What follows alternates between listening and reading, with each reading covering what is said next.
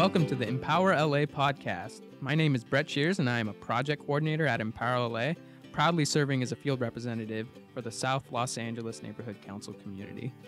Before we jump into things, I wanted to start by saying a little bit about myself, as this is the first podcast.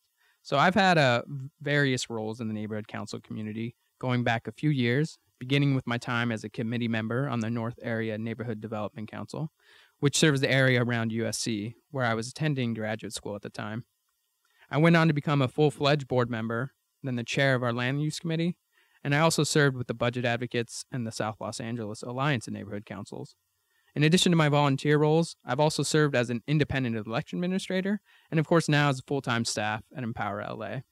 So I've worn a lot of hats, and I feel comfortable talking about the variety of issues that affect the neighborhood council system.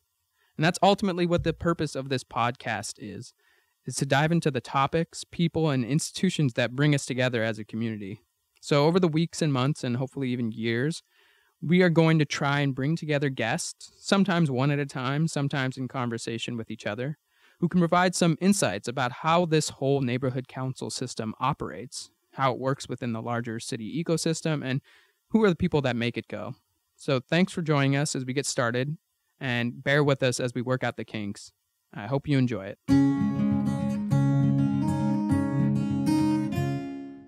This week's guest is Tom Soong, a project coordinator in leadership development and field representative for councils in Northeast Los Angeles. Tom has a long history with the Department of Neighborhood Empowerment, arguably the longest history. In fact, his tenure predates the department itself in some ways, going all the way back to 1999. Tom has worked in a variety of capacities with the department, and in this interview, he offers a wealth of insights about what it is that we do to help fulfill our core mission of neighborhood empowerment. I hope you enjoy the interview as much as I did. Thanks. Hey, Tom, thanks for coming on the first ever Empower LA podcast. I really appreciate you taking the time. Brett, glad to be here. Isn't this crazy that we're doing this? This is very crazy. This- First time ever. I think. Does any city government ever do a podcast? Is this a crazy idea? Should we not even be doing this? No, we should be doing this. You know, I don't know if other other cities are doing it, but we'll be doing it. Tom, Tom, the reason I wanted you to be the f- inaugural guest Wow. is be I know you should feel honored. You really should.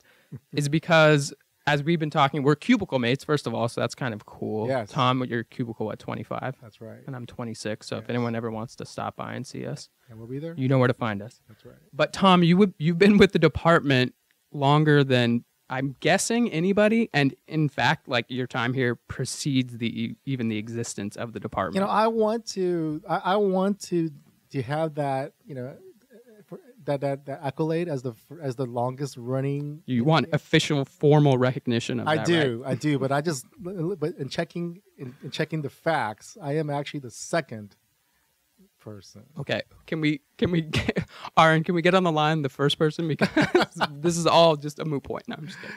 Tom, you're a good guest. You're radio, radio podcast friendly, so we're gonna Okay. keep you as Well, the thank guest. Thank you, thank you. Sorry, But I- I, before- I, didn't mean to lie to you. No, it's Sorry. okay. No, no, there's no deception. There were Okay. there were other reasons. is, That's but not the only reason. Okay. Okay. but before we jump into you know our, our experience with the neighborhood council system, Yeah. tell me a little bit about yourself. You know who you are, where you're from, how you got to this point. Well, I took the I took the 110 freeway. Right. And Okay. I, and I got here. But prior to that, though, uh, a little bit about about me. Uh, I was born in from tai- in Taipei, Taiwan, and my parents uh, uh, we immigrated here. I'm an only child. Okay, so we immigrated here back in gosh, man, like 1979, and then we stayed in Virginia to uh, we- because my uncle was there. So we lived there for three years, and then in '82, my father had aspirations of uh, starting and opening a restaurant in California because we had another family friend in Los in, in California. So we moved over and we lived in in, in Hacienda Heights um, since 1982. Uh, since then, my parents have passed away, but we still have the the house there. So that's where I grew up. Uh, I went to for college. I did go to, you know, Brett, you like this. I went to UCLA I love UCLA, so I do like that. Well, yeah, for for undergrad, and I majored in uh, sociology and specializing in education. Oh, cool. Yeah, so that's a little background. And you want to know about a little career wise? Yeah, yeah. I mean, you- you've been at the department. It's only really existed, even in theory, since Yeah. 1999. Yeah, yeah. So you worked before then. You had some time. How'd you get to that point? Sure. Let me let me let me dive into that a little bit. That's where the- at UCLA, when I was at UCLA, I was about to graduate, you know, like most folks that graduate that are planning to graduate, the big question is, what are we going to do with our lives, Mhm. right? And then, and my and I found out about this program called Peace Corps, which which uh, which allowed you know folks to go overseas and volunteer, and you know like third world parts of the city, no, not city, but third world countries, and to just you know be to make a difference, whether it be education, and I was planning to you know, teach English over there, and so but then also living in a city for you know far away from a distant land, maybe without electricity, without running Mhm. water, that's a that's a huge change. And then so I decided to do what's called the Vista program AmeriCorps, Volunteer and Service America, which is like a Peace Corps but in the United States. Right. And I, had to, I, I decided, look, if I was going to go to do something like that, I rather I either stay in Los Angeles where there's a big need, or I go somewhere just really outrageous. And I decided to go to, of all places, Juneau, Alaska. Oh my god. Yeah, to be a volunteer and service coordinator to work with uh, uh, parent volunteer groups and also nonprofit groups to help strengthen their volunteer program. So I did that for a year, and then for for, uh, for other reasons, I didn't go the Peace Corps route, but then I decided to stay local, and then I got a job with a with a, so then through the Vista experience, um, that that that basically that showed that I've always had some like a community oriented background. Let me, let me Mhm. let me just back up there. You know, let me um, like faith is a very important part of my life, and I grew up in in a strong faith and community wise, is very important to me, and Mhm. helping others is very, very, very important to me. That's why I decided to do do Vista. Um, so then I, other than, so that's a little more background there. Mhm. Then I decided to come back, and then ever since then, um, I found a job with the city as part of their volunteer uh, recruiting uh, voter outreach program with the city clerk. Okay. So I know, I know we're working with the city clerk now. So right. it's, like It's all like coming a- back full circle. there you right? go. There you go. So with that, with that, I was part of the uh, outreach team to to reach uh, Asian Americans to get them vo- more involved with the voting process, and then from there, um, for me, I feel like this was one of the best jobs I ever had was to be a field deputy for uh, for one of the uh, city council mem- members there. Who was that? This was uh, Councilman Mike Hernandez. Okay. So some of you, some of those, folks, Some of you old timers probably Some know of the that. I don't know. I'm not steeped enough in city politics. You're not that to stupid enough. So right, right. But uh, he's had a well, we'll just leave it there. He had he had a reputation, you know. But then uh, it was a fantastic ex- experience and working with um, communities. I worked with the communities of you know Chinatown, Mhm. Lincoln Heights, Echo Park, Angelino Heights. So it was an opportunity to be his representative out there to the community, hearing the community needs, hearing the concerns, and really uh, relaying to them the councilman's visions and goals, but also working in partnership together to, you know, to better their community. And then so when the department, so being being the second, you know, um, old veteran here, I that, that's how I kind of found that the job. Back in 1999, there was opening for what's at that time called the Department of Neighborhood Empowerment, Mhm. and that that- and the, and the job descriptions entailed working with local communities, connecting with folks, and and a lot of the same things what I was doing as a field deputy, but without the shall we say the the the more the the politics of it. Even though our Mhm. job is still, but you know this, it's still kind of political, but right. not so in your face there. So right. that's how. So when I saw that job, I'm like, oh my gosh, this is. I I really felt like I was you know born to this job, and 17. My gosh, 17 years later, Brett, I am still here. Oh my goodness. Uh, who is the? You know, there's going to be some curiosity, and we'll get to this at some point. Who was the first employee? Uh, Betty, I believe it was that, that's currently right now. You mean the cur- the first one ever? Or- yeah. Well, who preceded you at the department? How about that? I know you're talking about continuously, but also she just who Betty- who Betty- were some of the people that preceded you more generally too? Uh, the only other person I can think of is, is a Betty Wong Oyama. Uh huh. Yeah, you know, you know Betty from the. She's in the. she's She in the she helps. She's also a project coordinator who helps with our Yeah. NC support. Yeah, yeah so Yeah. she's uh, so she she came on board. I think maybe four or five months before I did. Okay, so you started in 1999. Do you remember which month, which day? I mean, I know that's very specific. I but- started in. Uh, I, let me think. At that time, I think it was November. Okay. I started. So, what had been going on at the time? What was your understanding of this big change that was happening towards, you know, this creation of the neighborhood council system? I like the word you- the word you use creation because at that time in 1999, I think earlier in the year, the uh, the voters of Los Angeles decided to create uh, to vote on a new city charter, Right. and in that charter called for the creation of a whole way of doing governance and surprise the whole the, creation of a, the whole citywide system of neighborhood councils. hmm And along with that, that's how our department got created. And that, uh, and then along that charter, it called for the creation of the Department of Neighborhood Empowerment, and also what's called the Board of Neighborhood Commissioners, that that oversees the you know some of the policies that of the of the, of the, the, de- the department as well. So the, the board of neighborhood commissioners, the civilian appointed board who helps, you know, construct and guide it's, the a- policy. it's the mayor's the mayor's appointed Exactly. Right. Mayoral appointed appointment, Yeah. commissioners. Yeah, so they've existed since that time, kind of in tandem. They, you know, we'll bring on one of the commissioners at some point to talk Right. about their evolution as They well. are very but- important to us. Yeah, well, they're they are important. We care about their policies and you know their Yeah. perspective, Yeah. but they've had a lot of changes too, as the- in the as the department has. Right. So I mean, that's the next thing I really want to ask Sure. you about. So in your long tenure here, what you know, what kind of changes have you seen? What is the most significant change for the department, or you know, just as a perspective of someone who's been in the the city government for a very long time? Yeah, Brett, I want to go back to your first point of uh, you, you mentioned what's hap- what was happening back in 1999. Okay, so currently, right now, um, you know, you mentioned that you were a board member of um, one of the neighborhood councils, and then, and then uh, at that back in 1999, there were no neighborhood councils. Right. Let's put it that way, right? And then so At least not in the way they're constructed now. I mean, maybe there were neighborhood associations which people feel that morphed into neighborhood councils for them. You know, I don't know how they view it. I just don't want to eliminate that perspective. I get what no, no, no. There's Yeah. uh right at that time. there was right, no system. No, there's no system, right? There was a. I think people were always kind of engaged, Right. you know, with the neighborhood council. A quick short history is that you know the, the neighborhood council system. Right, remember, it was a, you know, it was a. This is what Professor Dr. Raphe Sonenshein would always say: the neighborhood councils, they were started because of uh, a revolution, a revolt. You know, it was not started because everyone wanted it. People were upset. People felt that city government weren't really giving quote unquote power to the people.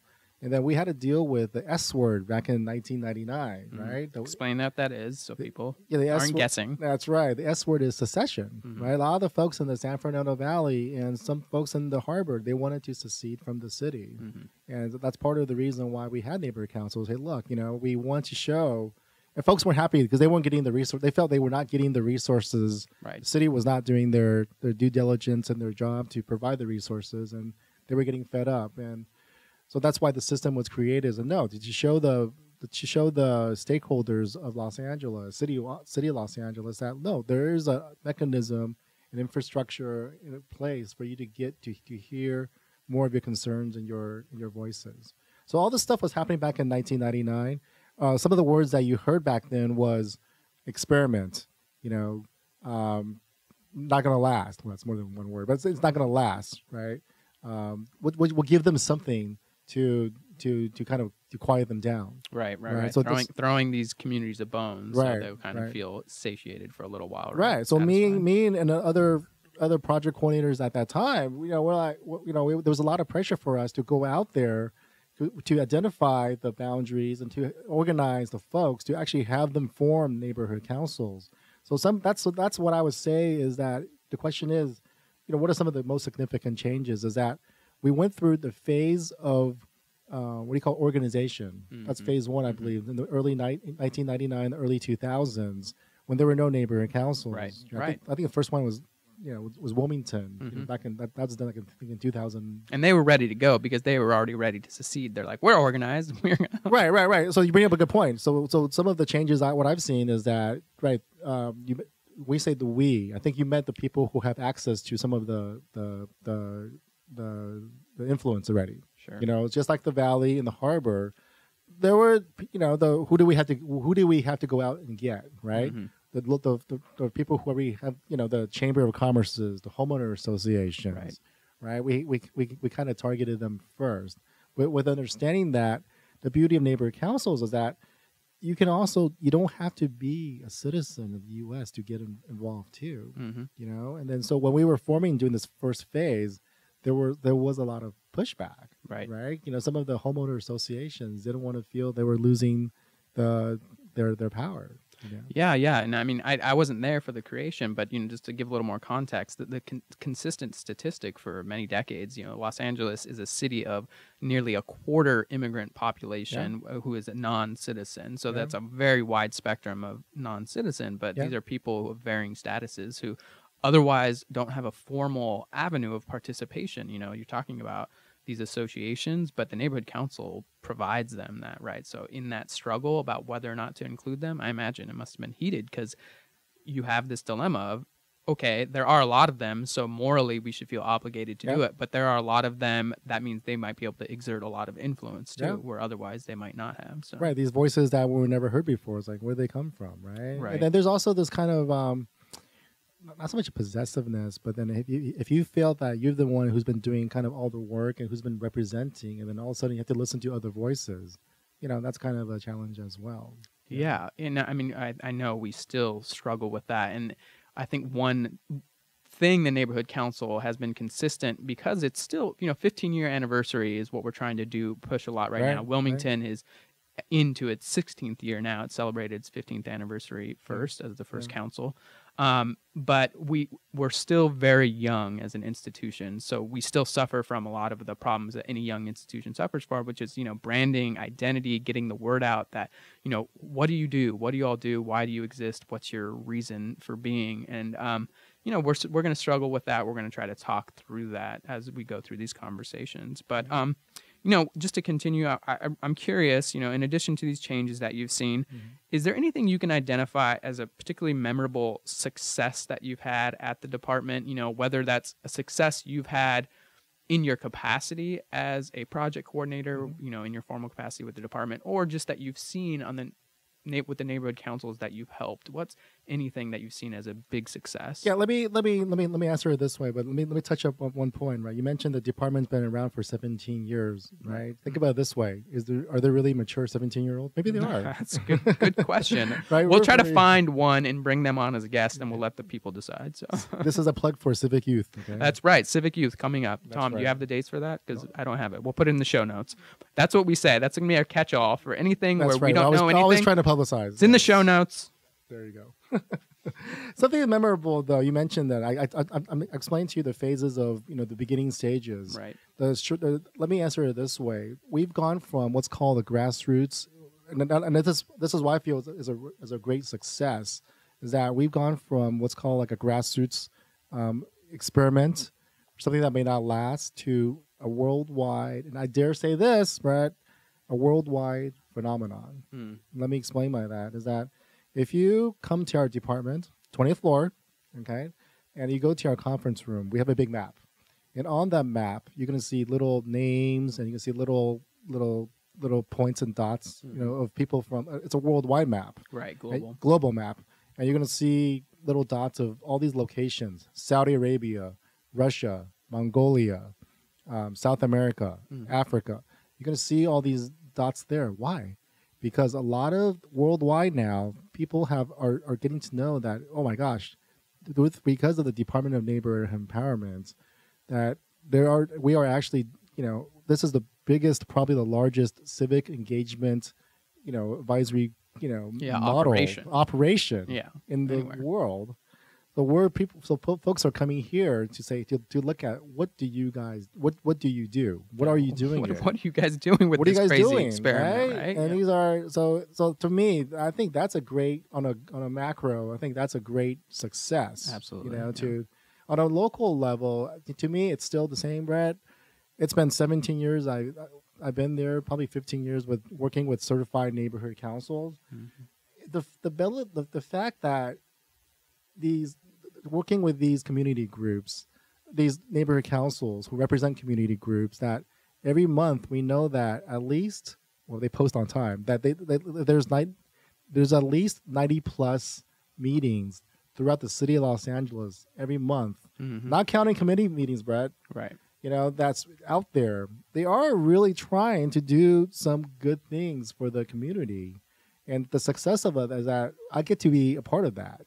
Right. And you know, that old saying, people say democracy is really like a series of meetings. That's what that's what creates the, the democracy, a vibrant space that we have. And the way I view it is this is the most inclusive form of democracy in the world, meaning the Right. the barriers to participation are so low, the the variety of people that you get is so high. So in those 90 plus meetings every month and all the committee meetings, you, you have so many opportunities to Yeah. to engage. So yeah, I agree that is an incredible Yeah. success. All right, Tom, I don't want to be a downer because I know we just talked about successes. But- We got to be real with people. right. So in your tenure here, Department of Neighborhood Empowerment, aka Empower LA, Mhm. um, what has been one of your biggest setbacks? Again, with the, either within the context of department work or with uh, you know a particular neighborhood council or something regional. What what's been a big setback that you've identified? I'll give you a macro and a personal one too. okay. Okay, the big one I think is that back in 2008, you know, if you remember, it was a time of the recession, Sure. and then we went from, gosh, I think at that time like 25 plus project coordinators, down to like six or seven, Jeez. and then so that I call that a setback because my my ratio became from one of me to like 20 plus neighborhood councils, right. and how do you really serve um, the neighborhood councils you know with so with, with so many? That's that's that's out there. So i call that you know fortunately you know we're so glad you're here you know that we're getting to a point where we're getting getting more more more more help and more staff. But i say back in 2008 there was a little rough time out there you know Is- are we even going to survive as a department at Right. that time Right. know? so i call that so from a from a from a departmental stand, I think that was a that was a very tough time. Those couple of years, just to try to be you know, providing the service there. On a personal um, setback, I think is that you know you can't be the challenge is you want to be there for all your neighborhood councils, and then sometimes the reality is you you, you can't. You know, sometimes a lot of this job is very interpersonal driven, hmm and then you know sometimes you, you do one thing it's construed the other way. You know a lot of times people feel like DONE is trying to tell us what to do trying to give us this right? And as if we speak on behalf of the whole department, they are endowing in us a lot of power. they are but as, as if we want if we really have an agenda to have them fail. Right. you know so on a personal thing personal level i think that uh, sometimes our actions could be misinterpreted. You Sure. know? yeah Yeah, yeah, I definitely understand that perspective. Just as someone who served on a neighborhood council, is that you know you kind of have to be the intermediary a lot of times when Yeah. people's expectations are sky high, and you say, you know what, guys, they're not only are they humans, which you know gives a lot of room for you know imperfection, but also the capacity of a department and any city agency, which is what you speaking to about 2008 i imagine p- in people's minds at least it must have been a little bit more pressing and understandable to be like yes we know and they just got cut by 75% or Yeah. some Yeah. huge number like that yeah I agree. oh anyway so thanks for sharing that that's i mean that's i know it's personal sometimes and you're talking about the relationships that you build so Yeah. that's that's really important so in terms of lessons you know what how how- what would you describe as some important lessons that you've learned from those successes and those setbacks Well, on a, on a personal level, I think that the one phrase we, we can learn is that uh, because, like you mentioned, we are kind of the intermediary, Mhm. right? That which means that if you, you can't be an intermediary if there's no factions or sides. right And believe it or not, everyone's getting along believe, believe it or not, neighborhood councils actually sometimes have people don't like each other. I do. I believe that. You believe that? Okay, Yes. good, right? But then, so the, the I think the one lesson I've learned is that if both groups or the both factions are upset at you, you're doing your job. you're the you're the referee. You're the referee. You're the referee, right? At the end of the day, you know, um, the lesson is don't take it too personally, but be be passionate about what we're what we're doing, though. Yeah, I think that's a great lesson. I mean, it, when it comes from a place of passion and compassion too, meaning for Yeah. everyone who's volunteering their time, because Yeah. that's what we're ultimately talking about. People Yeah. who are giving their time. Yeah. Yes, they are elected officials and appointed officials, but they Yeah. are dedicating a lot of time and resources. And I, I, I do hope that you know they understand that the other direction too. One, one one more thing on that, Brett, if I can, is that uh, is also the challenge with the city is that, and the, the, the joke is this, right? Not in the joke, but the, the reality is this: is that when you get a phone call, when I get a phone call, it's not a phone call to say how you're doing. Right. You're doing a great job, right? People and then click. then that's it. click right so then the, the, we, we get the phone calls of the folks that are disgruntled or upset or upset at us, or at the issue, or at each other. Mhm. And I think the challenge is that we're here to empower everybody, and we we fo- if we focus so much, and we should on only those who keep calling or the, the negative. The, the the I won't say the negative, but the people who just kind of have these concerns and complaints, Right. I think we could miss out on some of the really good leaders that's out there too. Sure, so, sure. We, so we have, we have to be careful of that. Well, even with regard to when someone is calling from uh, a perspective of they want to accomplish something wholly good, right? They want to Yeah. do this great project. Even that, I think people understand that that that takes a significant amount of resources to convene people to tackle an issue like homelessness at the neighborhood council level. That's not something you just put together overnight. You know, this No. is something that takes months of work. So when we get that call that says, "Hey, I want to do something about homelessness in my community," that triggers a lot of things that say, okay, well, we're going to have to dedicate some resources and time to this. So Yeah. yeah, yeah, th- those those calls can be very um, lots of tugs, lots of tugs and pulls about on resources. Definitely. So you know, this may be a little redundant, but I'm going to ask it anyway. So. Uh, Given all that you just said, what's the one thing you most want the neighborhood council community, however you define that, to understand about the work you do, the work we do? We're not trying to decertify them or trying to get upset with them. you Right. know? So uh, I think that I think the the one thing that I could if I could uh, have the neighborhood councils understand is that we are really trying to we, we do want them to survive. Yeah, and We- succeed, we do right? want them to flourish. You know, you've heard of the term exhaustive effort. You Mhm. know, and it, it sounds very punitive, right? But the, what's the purpose of exhaustive effort? Is to make sure we have a functioning board. right. We're not here to serve one person one faction. We're here to serve the, you know, the neighborhood councils in the city of Los Angeles. What that what that means is that we're here to serve the board, but also to those people who aren't at the table yet. Right, right. Yeah. The people they represent ultimately. We're trying to broaden that perspective, right? Right, You know, so I think that that means a lot. And one of the last questions I want to ask um, we are the Department of Neighborhood Empowerment. Right.